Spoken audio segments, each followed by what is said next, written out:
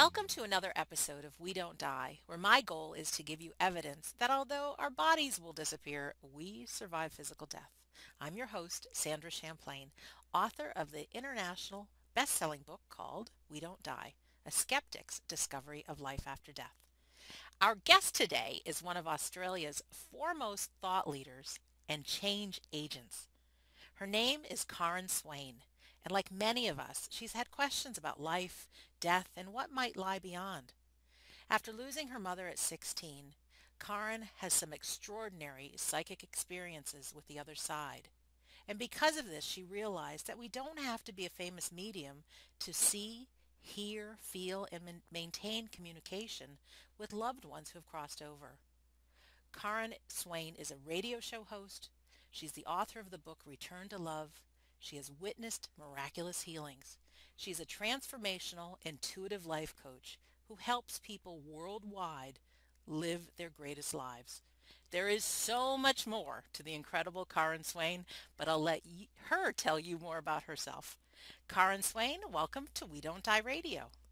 Oh, Sandra, thank you so much. Wow, that was quite an introduction. That's wow. Thank you so much. That's, well, uh, you're welcome. And wow. I've been on your site, and it's like you, wow, you do so much, and you're so generous, and you're all about making a difference with people. Oh. And I've watched some of your videos and listened to an oh. audio, and I'm just like, I love this woman. So I, I knew oh. we would be soul sisters. I, I love that about you that you actually took the time out to really to really watch like look what's going on on the side. I've sp- I've spoken to so many people that that don't bother. They just like tell me about you and they don't actually look into who am I talking to? Like they're not generous enough to extend their time to actually research. So congratulations you, oh, Sandra. But sometimes I get intimidated because it's like, oh my, who am I to talk to this person or oh, you? Oh, and you're up to so many things. But I, I always believe that we all have that little mm. voice in our head that's not always our cheerleader. And so it's just set it aside.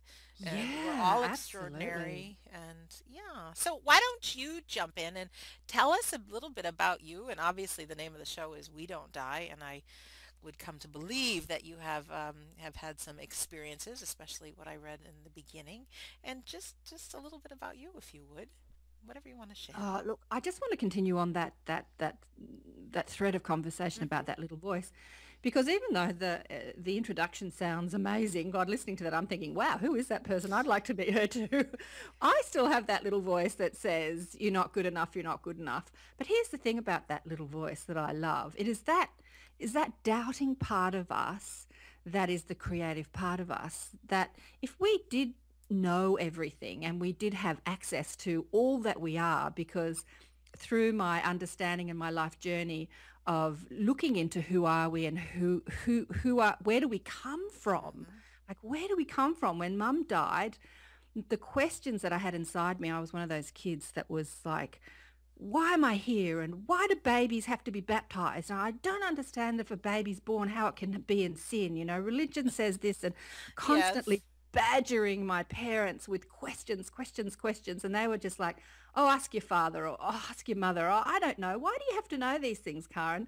Just, just intensely curious about life, love, and the universe. Who am I? What am I doing here? What's it all about, Alfie? And then when mum got sick and died, uh, she got sick in my early teens you know, when you're in your early teens, Sandra, all you want to do is date boys and oh, and right. buy and buy shoes.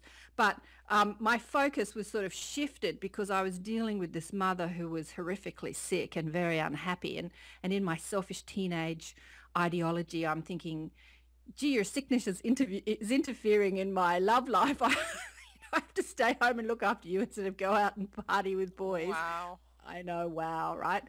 But, but it it's real. I mean, I I real. thought my parents were stupid, and what did they know about life? I, you know, as a teenager, we don't really understand it all. Yeah, look, yeah. I, I, don't know if I thought my parents were stupid and I, they didn't know about life at that stage, but I definitely, yeah, you definitely had that teenage, oh, yeah. like, uh, they don't understand about me. They don't understand about me. You don't know. What do you know? But those questions kept brewing inside me, brewing, brewing, brewing. And I think the thing that really did it was my mother's spiritual education to me was I, I was a naughty girl at school and I was expelled from one of the schools and, and a Catholic school took me in. The, the, the nuns ran the school. Mm-hmm. And we were not Catholic, and um, but it was a convent. And I said to my mother, "What am I going to do about all that religious stuff, Mum?" And she said, "Just ignore it, darling." spiritual education. in a Catholic school. Just ignore oh, it. Okay. But I was only there for a year and she died during that year. But during that year, the nuns went to visit her in hospital. And here's this selfish little teenage girl thinking about boys and shoes, thinking, now why are Catholic nuns visiting my mother in hospital when she's not Catholic? And how come they've accepted me and I'm not Catholic? Because, you know, with all this religious stuff, there's all these rules and regulations, you know, who's invited into whose club. And um, and then when she died, just before she died, I went into hospital to see her while she was still conscious because there was a few weeks while she was not really here with us. And there was a priest reading the Bible next to her bed. And I'm saying to mum when he left, what are you doing, mum? And she said, I'm dying, Karen. I'm dying. And I looked at her confusion and her her desperateness, grasping, grasping at some sort of answers. Here's a woman that never asked a question about what happens after we die. Never thought about it. Just never thought about it and, and didn't inspire any questions in me about that. And here she is dying and grasping at, you know, what's it all about? And will I go to hell? And will I go to heaven? And so that really spurred those questions like, yeah, like what does happen when we die? Who are we? Do we go to heaven? How do we live our life? What's it all about? So that's when I started this trajectory of this intense search for meaning.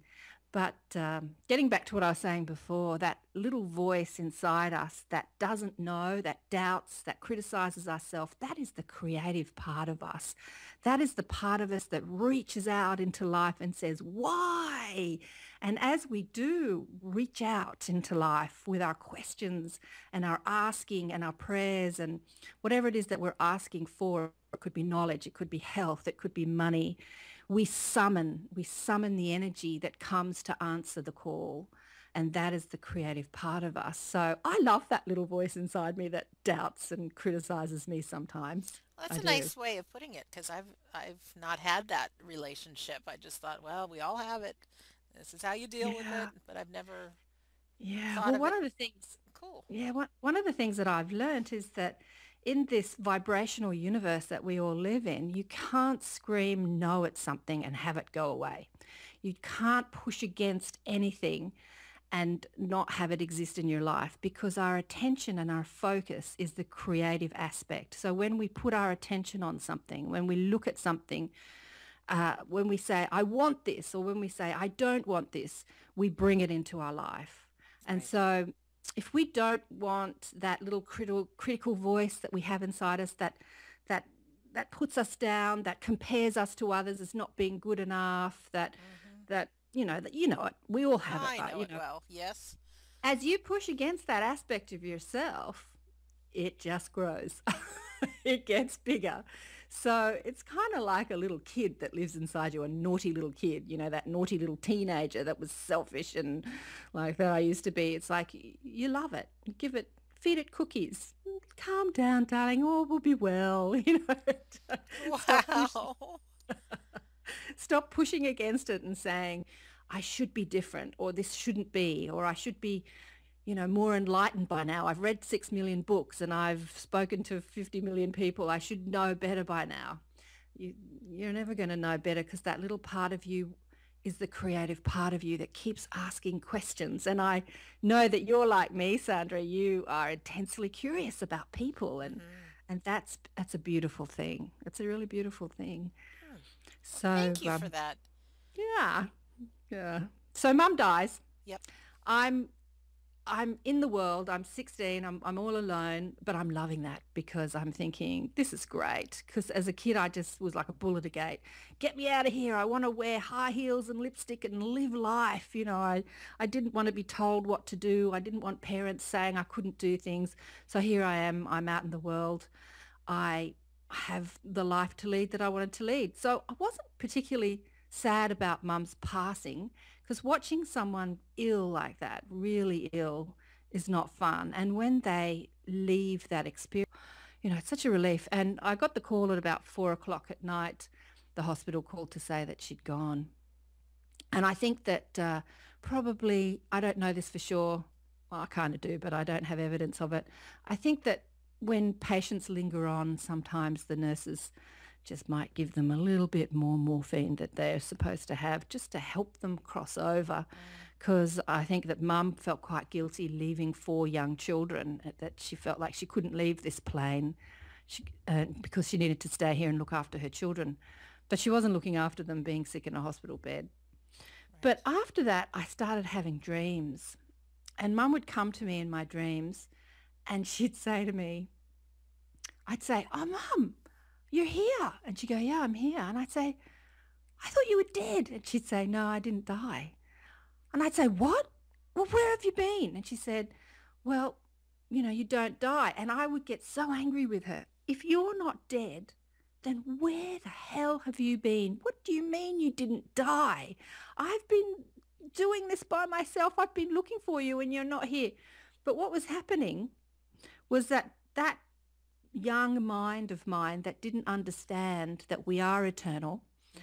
and that we don't die, that we live on, could only interpret her message from a physical perspective. So I understood her saying to me that she was still in her physical body and that she had, she didn't die, she just pretended, you know, like mm. Elvis is still alive. Right. And she went to live in another country or another state or in my dreams, she was always somewhere else. She wasn't at home. She wasn't in my environment. She was in a shopping mall or another state or another country. So I'm trying to, with my physical mind, work out, interpret the message that was given to me during my dream dreaming experience mm-hmm. because I wasn't open enough to understand what was going on. So I'd wake up really frustrated and angry that because the dreams were so real, Sandra. They were so real. And I'd wake up in the morning confused and think, oh, I'm back in this reality, in another reality, and this is real, and that's not real. And that's the thing about the other side. You've spoken to many people who've transitioned and come back, is that when you're there, that's more real than being here. Like this is the dream. Right. yeah. Right. And that, that, that's and, wild to yeah consider that, but that is yeah. what they all say. Yeah.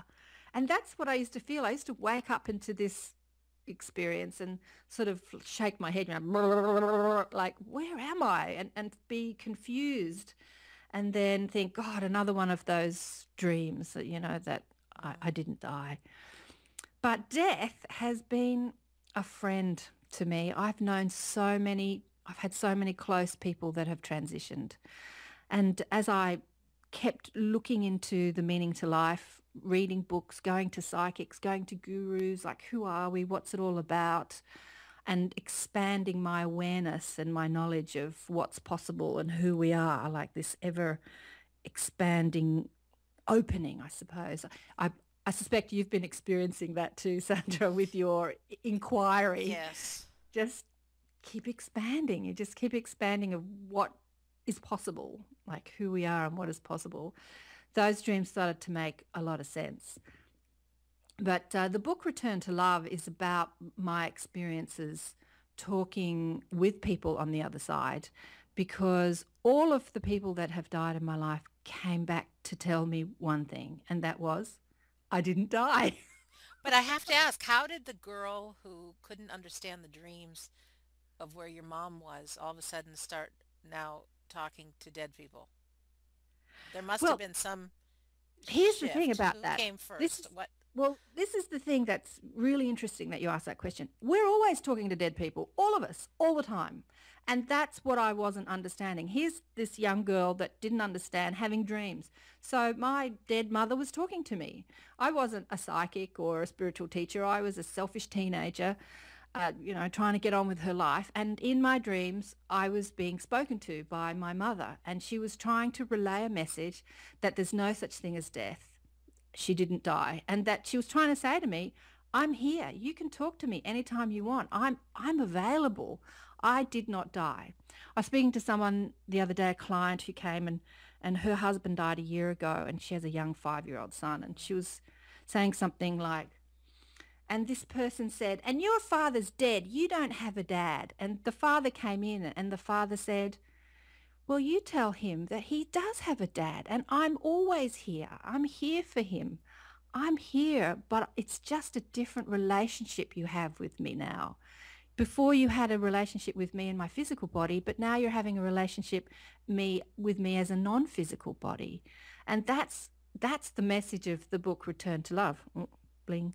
That's the message of the book Return to Love is that you don't have to be psychic to talk with people on the other side. They are communicating with us all the time. We have a constant relationship with our broader perspective or our non-physical perspective.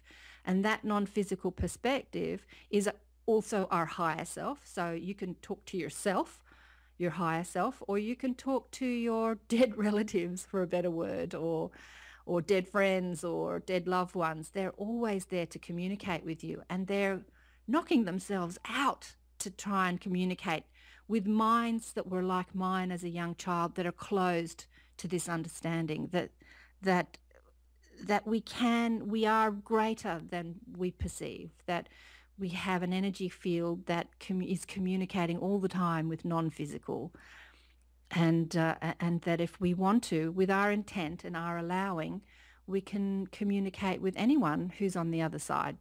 That's as you said in the introduction you don't have to be a psychic or John Edwards to talk to the dead. Right. you just have to be open to it. Can you give just, us some stories or examples of when you first started realizing that you actually are talking to people that have crossed over Oh, that's a good question. I don't know. It, it, it didn't sort of go bang, I'm talking to dead people. It just unfolded. It just unfolded. One of the things that really made me understand that I have access to non-physical communication all the time is reading the book Conversations with God by Neale Donald Walsch. That's a great book in that book, there is two aspects speaking. There is the the one that we were talking about at the beginning of this interview, that that egoic mind that says, I'm not enough, I need, I want, I can't. So that was the personality of Neale Donald Walsch, And then the other part of the conversation was who he deemed as God, the higher self, speaking exalted wisdom.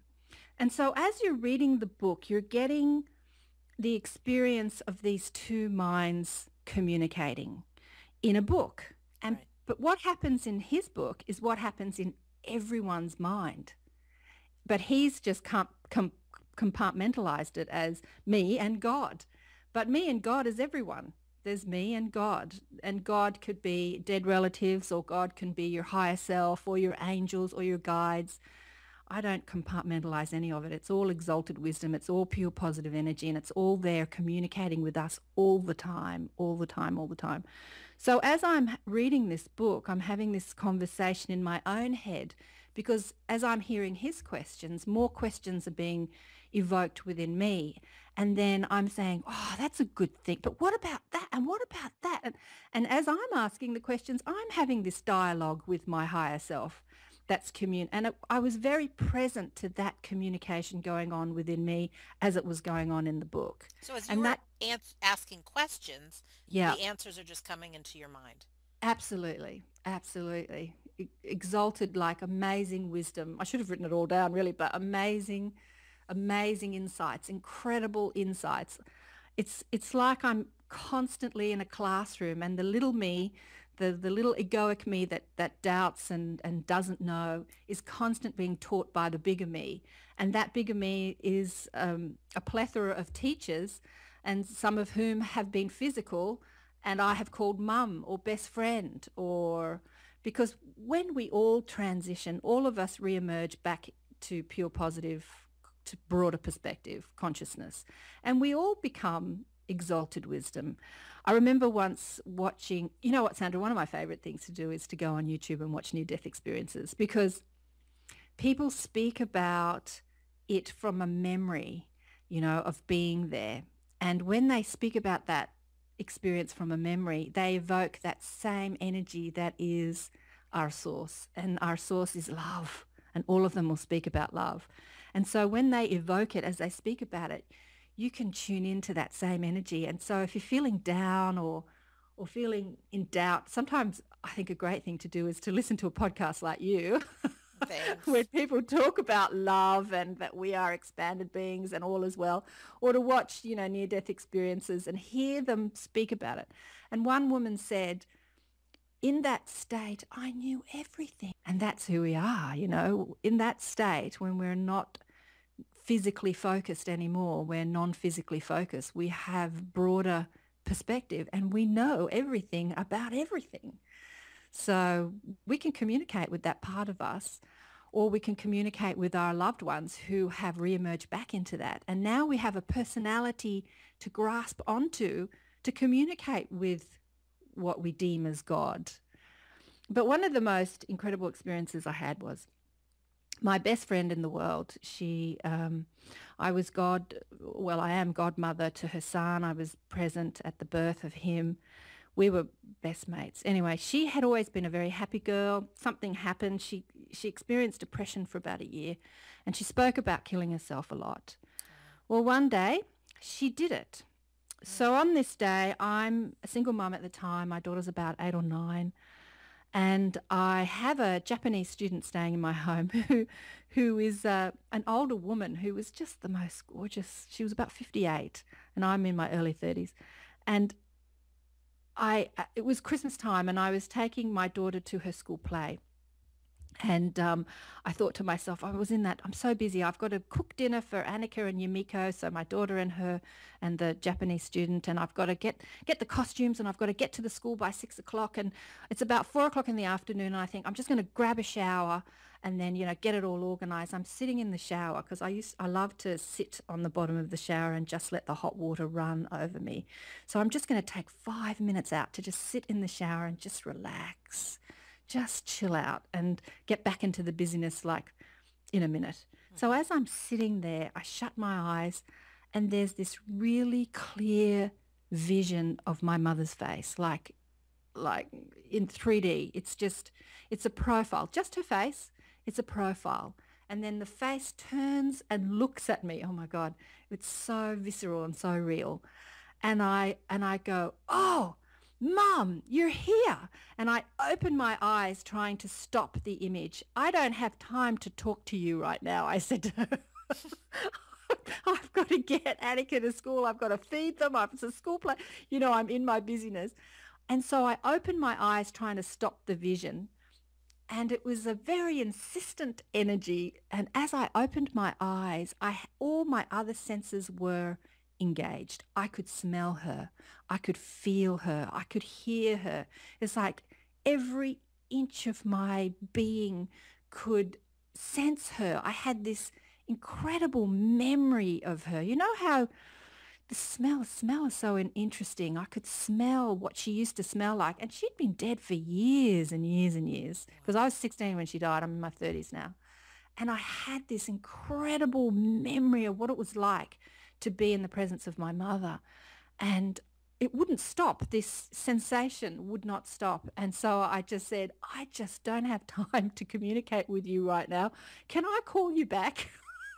That's hysterical. Just, hysterical. Who does that? oh my gosh. Well, thanks for being honest. Okay, so that's what happened. I jumped out of the shower trying to stop this sensation so it started as a visual and then it, all the other senses kicked in right. and just started, started to get into my busyness. And as I did it, it disappeared. And so I go to the school play. It's all lovely. But turns out that right at that moment was the time that my best friend committed suicide. Oh. And um, yeah, so I said to her, you've got something to tell me. Uh, but I don't have time for this right now. But you know what's really interesting, Sandra? I'm kind of glad I did that because had she communicated with me that that Kate was transitioning, because as much as I understand that there's no such thing as death, it still really hurts when someone you love leaves this physical plane. Absolutely. Still really hurts. And, and uh, oh God, I can't tell you how many people have I've known that have left. Uh, I still cry and, and mourn and go, oh, that's so sad. Not sad for them, sad for me. Right. But um, yeah, so she had committed suicide, and the experiences I had with Kate on the other side were incredible. She really, because we were great mates, we spoke about everything together. She really showed me many things about being on the other side. I would go to sleep at night and and as soon as I would fall, you know when you fall into that sleep, it's it's always an unconscious thing. You never really know when you fall asleep. You know that you're about to, but you never know the moment when you do. And then you wake up and you think, oh, when did I fall asleep? Right. so as soon as I would fall into that, fall into that other experience, that other focus, she would, it would be like she was sitting on the end of my bed waiting for me to wake up into an, another realm, another experience.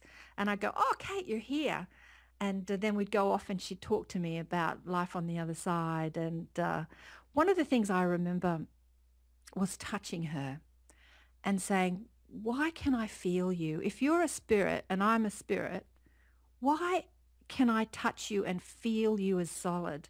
And she's looking at me smiling and she's going, I know.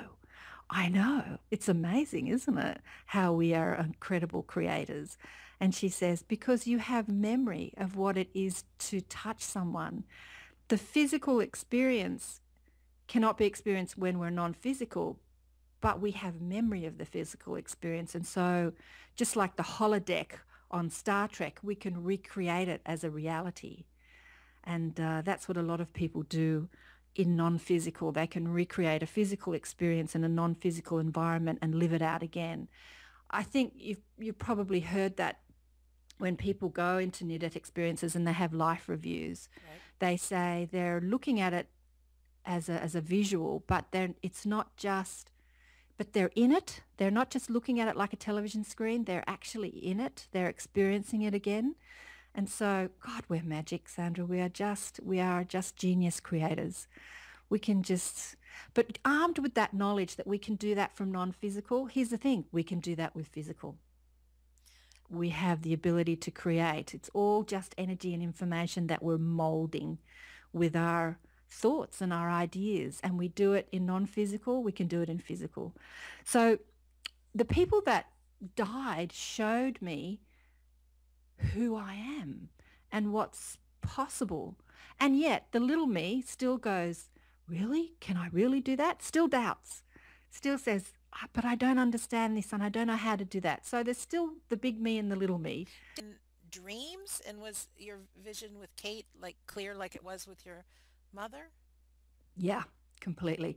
Not all of them, no, they don't all, all come through dreams. Many of the experiences I had was while I was asleep because here's the thing when you're asleep you're you're non-physically focused while we're here we're physically focused and the physical dimension is so seductive that it takes your attention off the non-physical and you've got it you've got your attention on the computer screen the television screen the road the people around you. Your your focus is is I might turn off um, my sorry email. Your focus is uh, elsewhere. So when spirit wants to communicate to you in really uh, meaningful ways, they often will in your dreams because you're not physically focused. You're not distracted by the physical reality. Yeah. But if you if you have an intention and you have enough allowing, so here's the the trick. Not the trick's not the right word, but here's the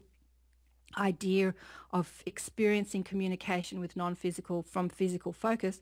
You have to take your f- focus off the physical put the focus within. That's why meditation is one of the best ways to attune your vibration to allow you to have visceral experiences speaking with the other side, both your higher self and your non-physical friends that have transitioned. So taking your focus off the physical, putting it within, you can put it on your breath, you can put it in your imagination, you can put you can bring your awareness down to your body, the breath is one of the most the best ways but uh, practice of meditation really attunes you to receiving their vibration because their vibration is a high vibration. Non-physical energy is pure positive energy.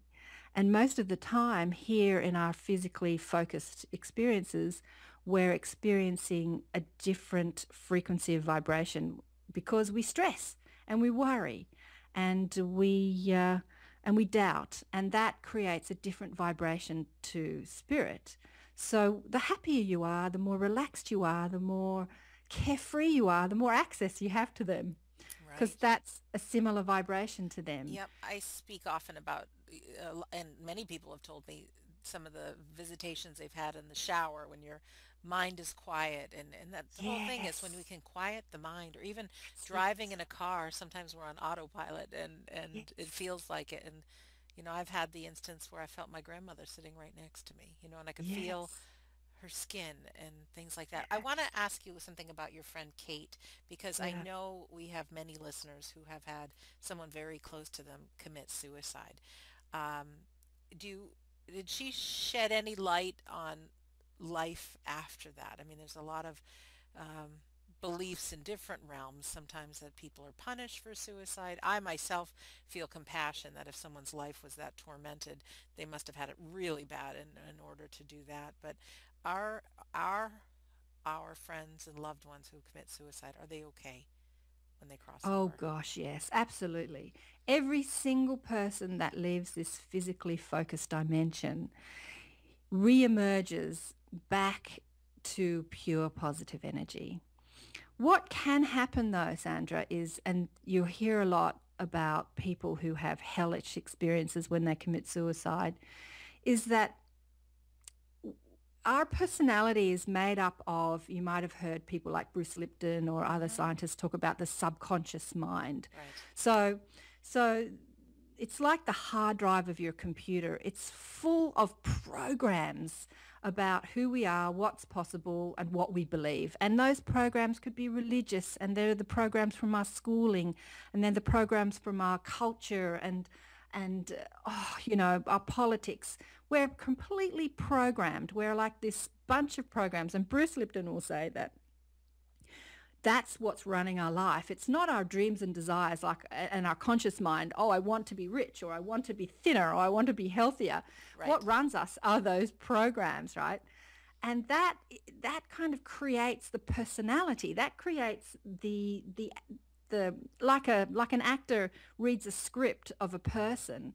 So that script, Sandra or Karen, is like all made up of all these different ideas, ideologies, and programs and beliefs and structures, and that that creates you in your play called Your Life Right Now. Because when we reemerge, we see our life Oh, another great book that uh, I read recently was the um, Application of Impossible Things by Natalie Sudman. Have you read that? No. Near-death experience.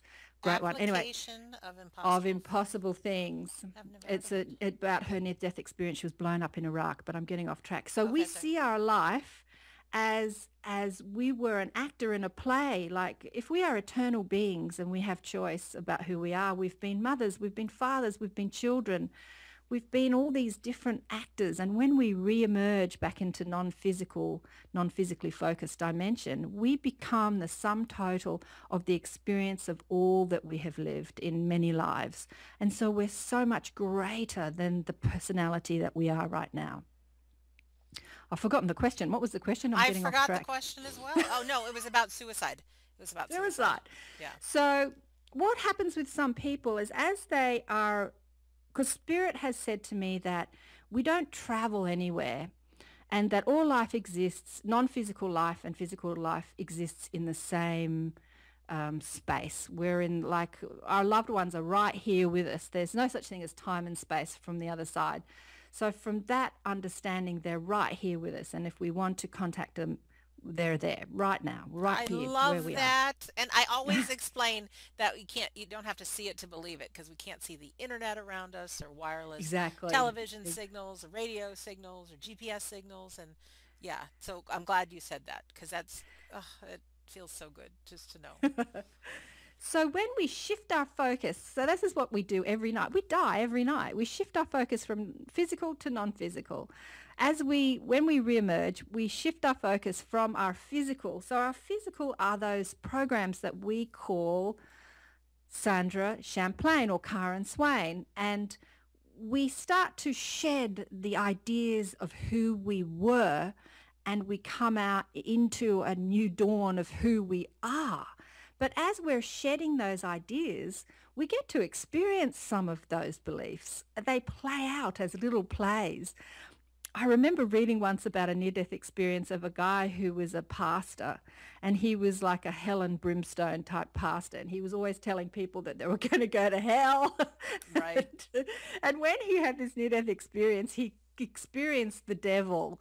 And the devil said to him you're in hell for doing this. Like for the simplest thing that he did that he deemed as unworthy as his pastor personality that he was always telling people not to do. Mm-hmm. of course you you read about these pastors the, the, the most judgmental are the ones that have created the sins that they're judging right. people for. Yes. So he had created the sins that he was judging people for and he experienced this sort of devil image. And it was his guides having the biggest laugh they were just rolling around laughing at creating this experience of him being in hell.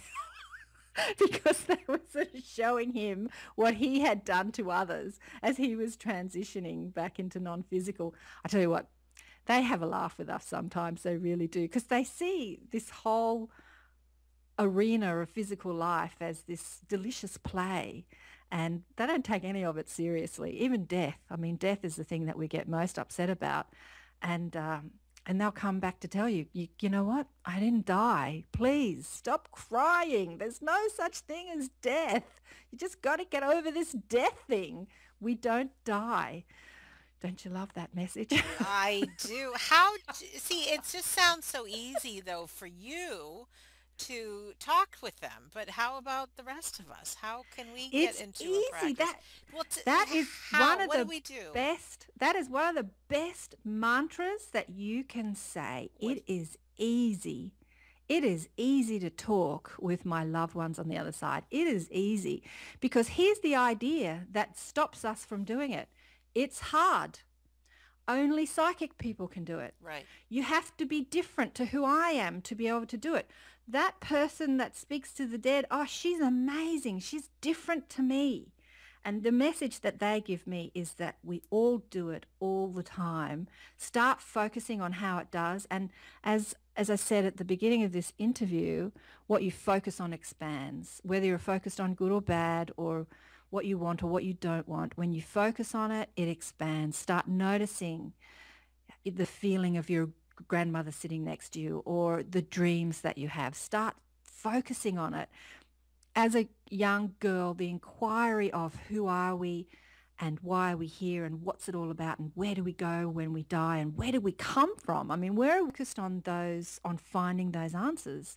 And so because of my intention and my focus, it was revealed to me through my life experience and through many of the deaths that, uh, that people um, gave to me. Another best friend of mine was a girl called Nikki. She was born thalidomide affected. And so she was a very sick little girl most of her life. And we were best mates. And she died when she was 40. She lived a long time, actually. The doctor said she was going to die at six. They said she'd never be a teenager. They said she'd never be an adult. They kept telling her she was going to die. And here's the thing about Nikki. She smoked, she drank, she had tortured, tortured love affairs, the love affairs, you, you know.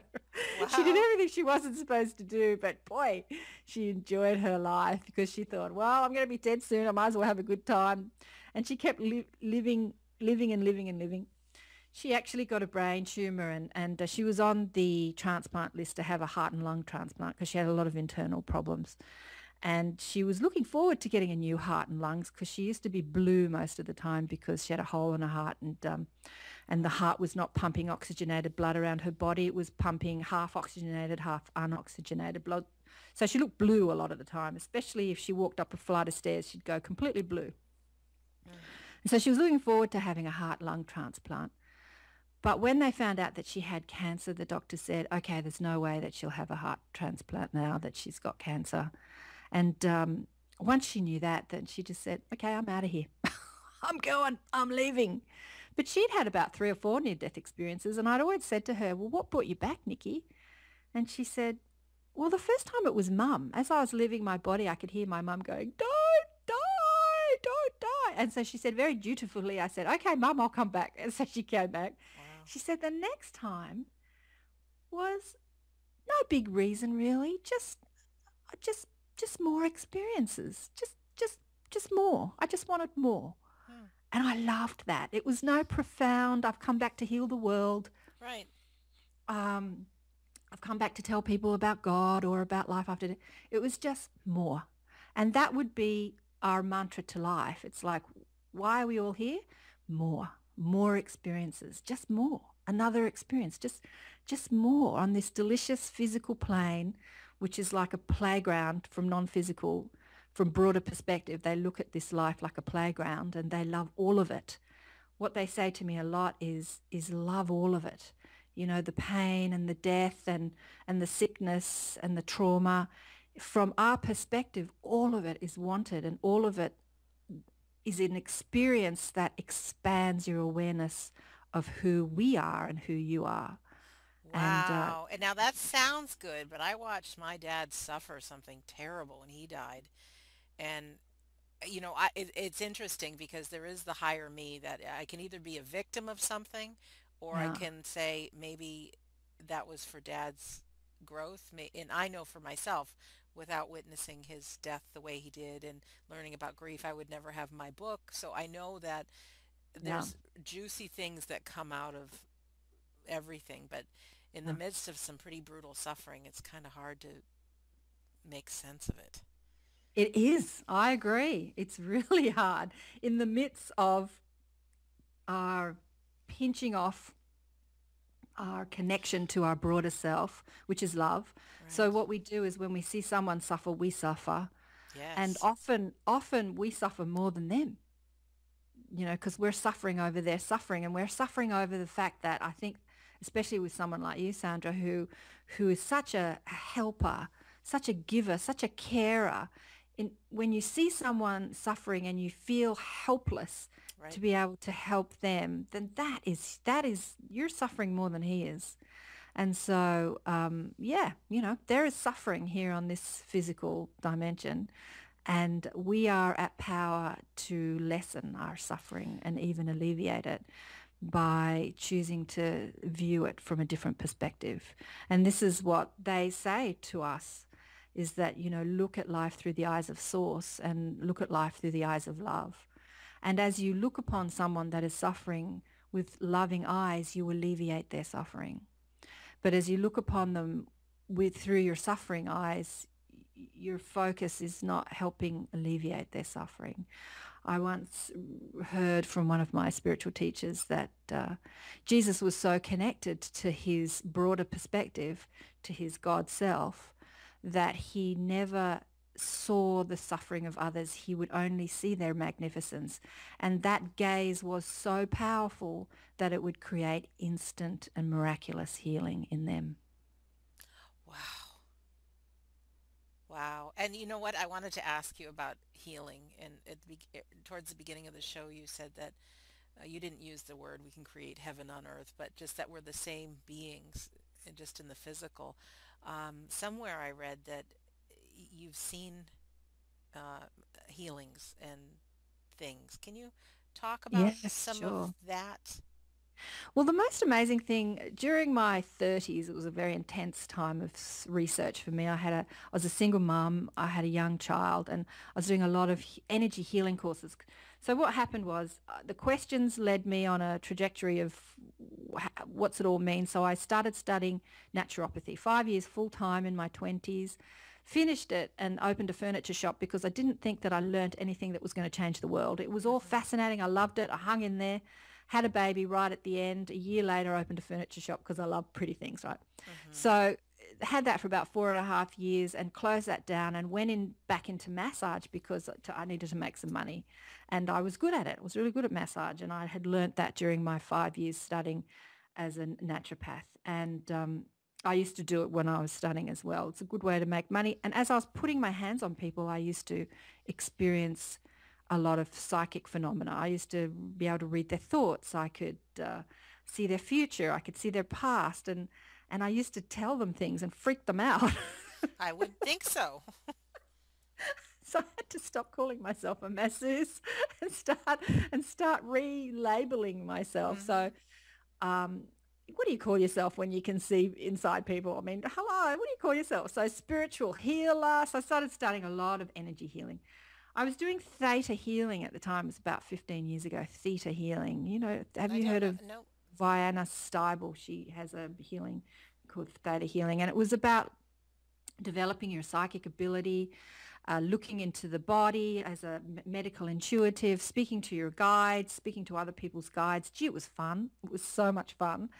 And I came home from a, a healing course that I'd done and I had taught my young daughter to, I said, so this is what we do. We just go up and talk to God and we just make a command and then God does the healing. So it's really about having that relationship with your broader self. That you're not doing the healing. The universe is. You're just asking for it and then allowing it with everything in your life you're doing that whether you want to speak to dead people or manifest something in your life like a lover or health or money or whatever it is that you want Right. to create you don't create it you you're the asker the little me is the asker and then the the the universe or god or life orchestrates the energy and and um, formulates everything that you're asking for. And then you as the healer or the person that is the manifester of the desire has to allow that to happen. So so that's what a healer is doing. They're asking and then allowing. So i taught this to my daughter and then I was seeing a lot of clients and doing a lot of sort of psychic stuff with them and energy work, but I wasn't seeing anything with my physical eyes. So I said, I want to see something with my physical eyes. And so my daughter gave me the experience one day. She came home from school. They were digging up the plumbing out the back. So the garden was all dug up and all these rocks and pipes were uh, exposed. She was out there playing. She cut her foot. So she gashed her foot open. She came running into the house. I was again in the shower. and she comes running into the bathroom screaming with blood pouring out of the bottom of her oh. foot, mud all over it. And I look at it and freak out and I go, oh my God. So I threw her foot in the shower to try and wash some of the mud off. And I just didn't really know what to do. But she was in such a panic that my thought was, I'll just stop the bleeding and that will stop her screaming. So I threw her on the toilet and put her foot in my hand and just went up and commanded a healing. But what I noticed, Sandra, is that I couldn't feel the blood oozing out of her foot under my hand. I expected to feel the heat of the blood it was, as it was gushing out of the foot. hmm And I couldn't feel that on my hand. So I took my hand off to see what was happening. And the wound had completely sealed in an instant. Just sealed. Oh Yes. my And the, two- the two of us sat there. The two of us sat there on the, she was on the toilet, I was sitting on the floor, just looking at her foot in just astonishment, like just amazement. We just went, wow. wow. And what had happened, it had healed so quickly, it was dark underneath the skin. I didn't know if that was dirt or, or blood under the skin because the skin, the top layer had just, it had just sealed instantly, instantaneously. And um, so I asked for it. I said, I want to see something with my eyes. So they gave it to me. and I've seen many things like that. Many, many. Can you tell us another one more story about that? Well, this isn't something that I saw with my eyes, but I was um, I was living in the same house. House. I was looking into a yoga studio. It was a wet, rainy day, and I was walking up the, um, some back stairs, cement stairs, going up to this yoga studio, and, and they were closed. And as I was coming down the stairs, I fell down three flights of cement stairs because I was all wet, and Yikes. and I and I cracked the bone in in my arm. Oh. And um, I didn't go to the hospital because I was doing all this healing work. And here's the thing about this healing work. If I was doing it and paying lots of money, that I had to really believe in it. What I find really interesting with a lot of healers that I know is that they spend their lifetime studying energy healing work and then when they're sick, they go to the doctor. And I think, oh, so you don't actually believe anything you've, you've studied and spent all that money on. But I wasn't like that. I was like, if I'm going to, you know, do this stuff, I'm going to believe in it. So I looked inside because I'd, I'd been taught how to look inside the body and I saw that I had a fracture. I'd fractured my arm. I was in so much pain. I can't tell you. I was in, the pain was radiating. I felt like I was filling the room up with pain. It was like these radio waves coming off me. And I just commanded a healing and I couldn't stay awake because I was in so much pain and I just went to sleep. And when I woke up, I I looked inside and it had healed. Um, the fracture just completely as the cut had. But this was what this, I had seen this with my psychic eye and not my physical eye. So I had no proof of that.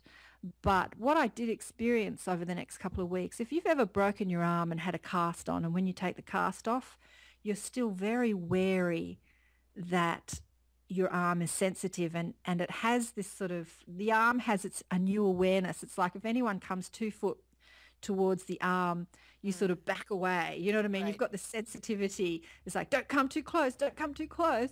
You know, I, I'm still sensitive in that area. So that's what I was like for about two weeks. It's almost as if I'd had the cast off, but I still had that incredible sensitivity. The arm worked, and um, but it still was in, amazingly sensitive. So yeah. Was the pain? You, did the pain subside uh, immediately? Completely, completely. Yeah, completely. Yep. when I woke up. Mm-hmm. Yeah, that's miraculous. Yeah, it was miraculous. It was absolutely miraculous.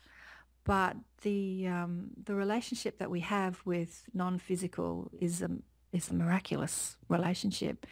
We just have to trust it and know that it's there for us, whether we want to communicate with our loved ones or communicate with God or Source or or whatever you call it, or your angels.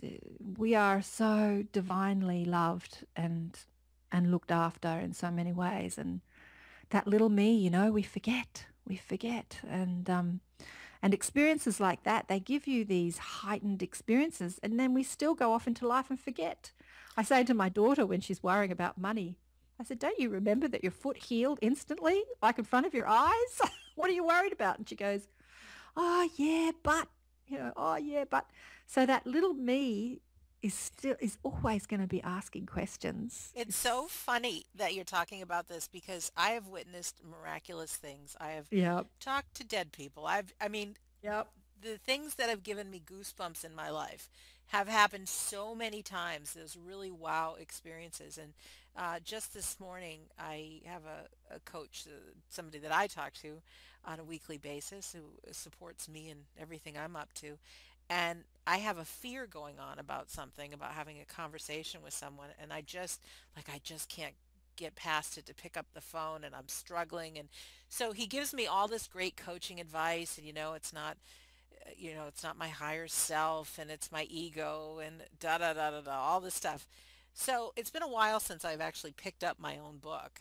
And I actually write about fear and how to deal with it if you have trouble talking with someone and to get their perspective and to get what's going on with fear and miracles are on the other side of fear and you know it's like I feel like such a dope, but I, I don't think we're meant to remember 24/7 that we're these infinite souls or else what would be the point exactly. of living life without these the, experiences, right? Exactly. The little me is the creative part. The little me is the one that asks and the little me is the one that summons the energy to answer. The little me is so important. The little me is the expansive part of you you as the personality, as the physically focused person. So the little me uh, forgets and then asks to remember and then you remember and you have these amazing experiences and you're like, oh, yeah. I am the greatest. I, and then you forget again. I had a little battle with the little me this morning and I was stressed out. And then all of a sudden I had such a, like an aha moment. And uh-huh. I just thought, you know, and I'll just share with you what it, what it is because I off, you often hear that when you hang around with successful people, you have more of a possibility of becoming successful yourself. Yeah. That uh-huh. you're, you know, most like the five people you hang out with.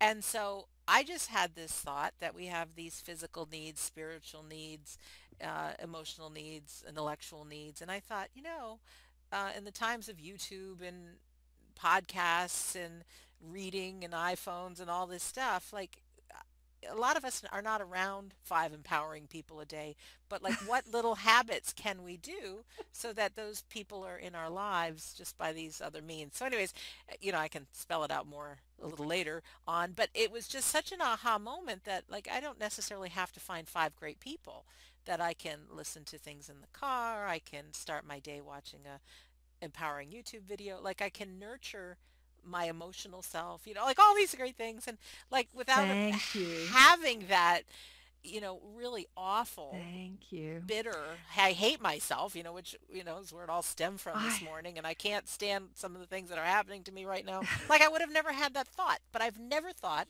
of like blessing the little me, the little voice.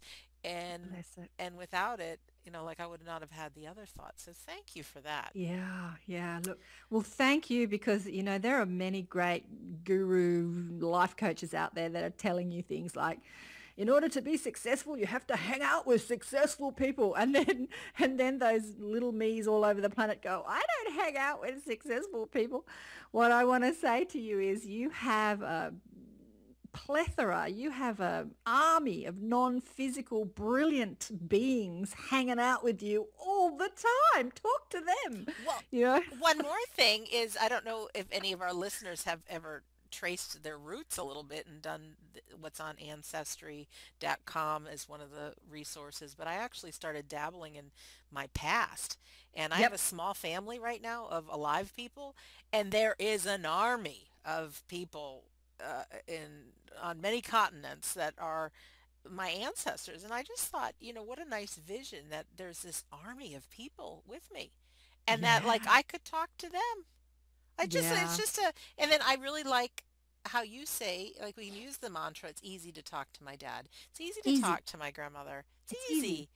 easy. And, and to put the attention on that it could leave an opening for a great thing to happen. So thank you for that. Our time's going Absolutely. by fast. So what I want to Oh, do yeah. is shift into, you know, who is Karen Swain and what the heck do you do in the world and wh- what do we what else do we need to know about you? How do you apply your gift to making a difference with people in in your business? And what is your business? Wow. How's Well, that? how I, how yeah, look how I like how all this has, you know, how it manifests as a physical reality. I mean, it's all great knowing all this stuff, right? Right, Having all right, these right. amazing experience, but how does it look in the world? I feel completely connected to every being on the planet, and that is a beautiful thing because as a as a selfish, insecure teenager, I felt very disconnected. So it's been a, a journey. It's been a long journey, and it's been a journey of unfoldment. It didn't sort of happen bang, and now I've Right. woken up and I feel connected. It's just like I ha- was having a conversation with someone on my show the other day called Kerry Phipps, and she wrote a book called Do Talk to Strangers, and it's like having that openness and that friendliness and that fearlessness to be able to feel connected and open and in love with everybody. Do you know what I mean? Like, mm-hmm. like no fear, no fear of people. I think one of the biggest fears we have is not fear of the future or de- it's like fear of what other people think of me. You know, f- that fear of of talking to someone, oh, they're going to think I'm stupid. Oh, I can't talk to them. I don't know them. It's like when you have a relationship with your broader perspective, you understand that we are all brilliant, incredible, amazing beings. We all have that broader perspective and we're all forgetting that we're that and we're living inside our little uh, the little me and um, and asking questions and fearing and like everyone's the same but different. We're all same same but different. And so when you get that we're all one, we're all the same, you can reach out to anyone, anywhere, anytime, and feel like you're in service to them and that you don't need anything from anyone, that you're the giver of life and not the taker of it. And, and that's a beautiful feeling. And, and, and so I, when I'm with anyone, I can look at them with through the eyes of source. I can I can look at their mistakes and I can criticize them. The little me still says, "Oh, you're an idiot." and then the broader me kicks in and says, "But isn't that beautiful?" Yeah, right, right. And uh, and that's that's a really beautiful thing. And uh, so so what I do is I love people like you, and I interview uh, as a teacher of deliberate creation. So I'm teaching what I've been taught.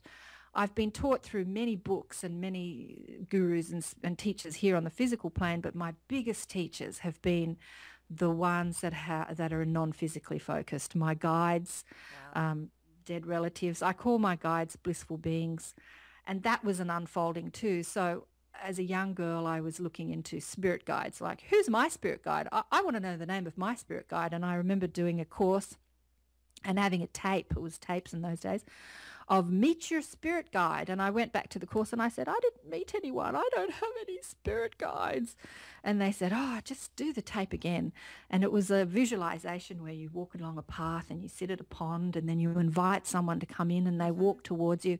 And so I'm not getting any visuals. And I'm saying to them, because I'm speaking to a nebulous nothing, like, why don't I have a visual of someone, like a, a person, a, a red Indian or, a, you know, or a dog or something?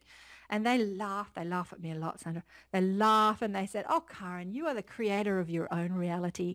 What would you create if you had a spirit guide? What would they look like? So I'm a young girl at the time. I said, oh, I'd, I'd have a spunky man then, please. And so bang, there's this handsome man who comes and sits next to me, has a laugh and says, well, you've created me. Here I am.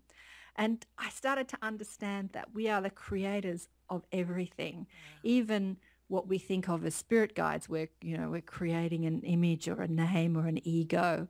And, um, and when you're talking to your, your dead relatives, for a better word, or dead loved ones, you have that already created for you. You can talk to source through them, through their ego and their personality and and uh, and that's a beautiful thing. It gives you something to focus, to grasp mm-hmm. as you speak to your broader perspective. Because when you're speaking to them now, you're not so much speaking to them as they used to be. You're speaking to them as a part of God, as that as that broader perspective. And uh, gee, I've forgotten the question again. I start. Just I like what to do rag. you do for work? What do we need what I do for work? So I, I'm teaching. I teach that. I teach deliberate creation. Um, they show me all the time that we're creating all of it with our focus and our imagination and our allowing, allowing the energy to flow. And we allow that through our vibration. So every thought holds a vibration. And the more positive or the better feeling the thought, the larger the amount of energy we allow to flow, which is what attracts into our life what we want. So I teach that. I see clients one-on-one. I put on events for the difference makers. Once you understand that you're powerful and that you can create what you want in this world, what are you going to create? I want to create a world that we all want to live in. It's all very well wanting money and love and health, but what else can we create? And so I put on events for the difference makers, people that are on the planet that really know that they're here to make a difference. I interview and showcase people that are making a difference in consciousness, in the environment, in relationships, in all different ways.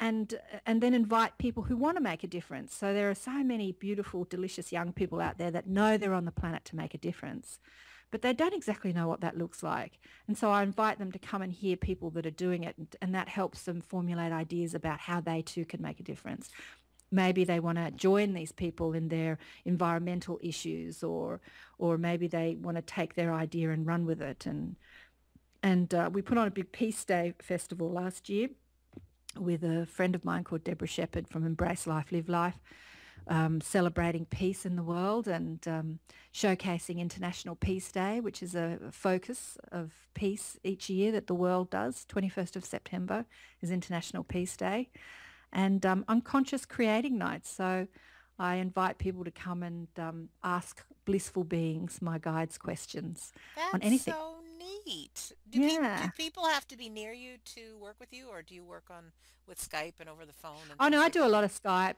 I do okay. a lot of Skype. Yeah, yeah, for sure. Yeah. Yep. Yeah, I mean, I don't need an office anymore because um, I can just work on the computer. It's fantastic. Oh, yes. So, and yeah. I know that we're speaking to a lot of difference makers right now. I do. yeah. That.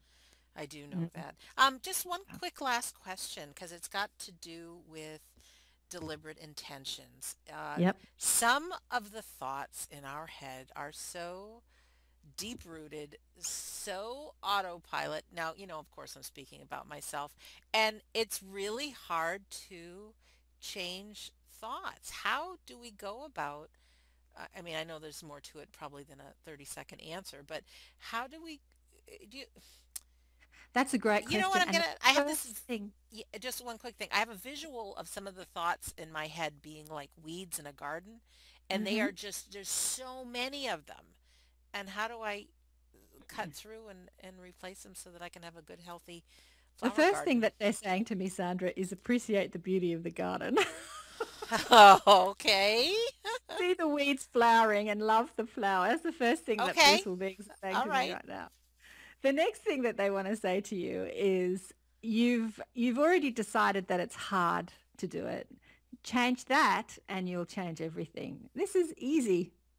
Oh my gosh. this is easy. Yeah, and I have decided it's hard. You know, that's yeah. what's funny. Like I can, I can you, totally get you're that. Deci- what you're saying to me is I'm overwhelmed. There's so much and it's so hard. And that's what you're creating. So you can't change anything from that vibrational stance. Okay. So you've created a vibrational stance that says it's bigger than me and it's really hard. And and that's not the truth. That's just what you believe and that's what you're creating.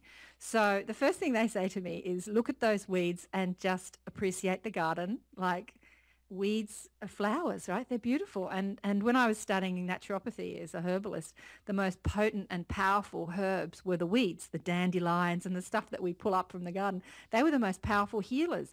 So see those negative thoughts, those little negative weeds, those little negative thoughts as your powerful healers. They are powerful healers. They're part of the garden of life and so appreciate them. And then say, as easy as it is to pull up a dandelion and repot a different flower, like a, I just choose it, because none of them are good or bad. They're just wanted and unwanted. So, okay, so you've got some weeds and you want to plant something else. It's as easy as pulling it up and planting something else and see it as easy. You know, you're creating your garden. See your thoughts as your garden. Appreciate all of it and love it. And just like a gardener, you can choose whatever thoughts you want. And you choose them by the way it feels. So if you're experiencing a thought that doesn't feel good, then ask yourself, is this what I want? And change it if it's not. Because here's the thought that stumps most of it, is that we can't change the way we feel. And, and there is a, a collective thought form that says, a tiger can't change his stripes, it's hard to change people. You'll never change people. Once you've decided who you are, that's who you are. And I say to people, if that was the truth, I would have no business because what I do is I help people change their mind. I help people change the ideas of themselves. So if they have ideas about themselves which don't feel good, they, it makes them feel small and limited, then like, like the garden, we just change the flower bed. That's something beautiful. That's I'm glad I asked you that question. Yeah. And it's easy.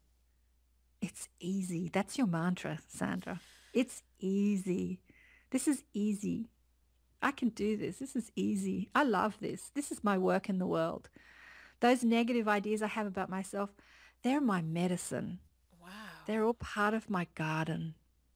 And to our listener right now, Karen's not just talking to me. She's talking to you and it's easy, whatever it may be. And easy. Oh, I challenge all of us to take this one on and really, uh, gosh, love the weeds. I love that some of the weeds are the most powerful healers. Powerful Holy, healers. That's awesome.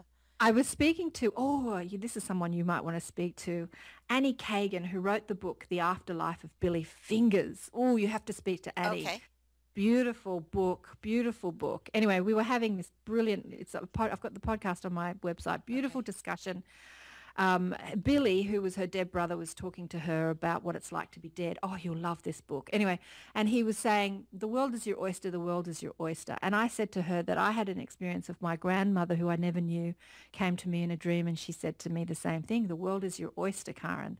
And then Billy goes on to explain it even better. And the sand, which irritates the flesh of the oyster, creates the pearl. So it is those things that irritate us in our life, those bits of sand that get in under our oyster shell that irritate us, that creates the pearl of our life. And it was just like, that is beautiful. Yeah. And you know what? Whether it's me in the weeds or a vision of the pearl, sometimes us being able to visualize it in a story like that is we can really get it. So thank yeah. you for sharing that. Yeah. The analogies are beautiful. Blissful beings have the best analogies. Aww. They come out. Well, thank you so much.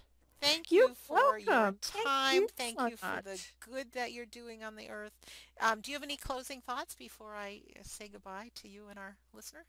Oh, look, I just want to thank you for what you're doing. I think it's such an important message, this we don't die. As soon as I saw your podcast with those words, I knew I had to speak to you because that's the message that all my loved ones on the other side have said. I am not dead. I mean, that's what the book Return to Love is all about.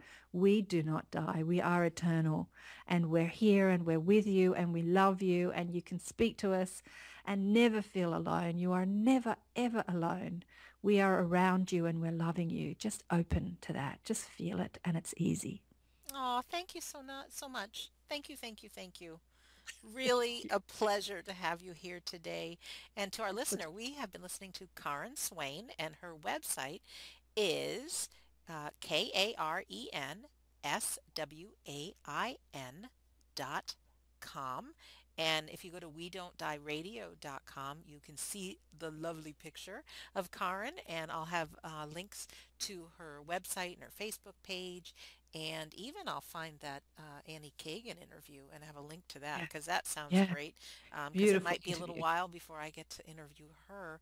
So I really thank you, Karen. And oh, thanks so much. Again, thank you to our listeners. And I love all the feedback that I've been getting. Um, for those of you who have uh, mentioned comments on iTunes. That's fantastic. Uh, I've taken your suggestions and using them. Many people have emailed me too from the website and, and please feel free to reach out and ask questions.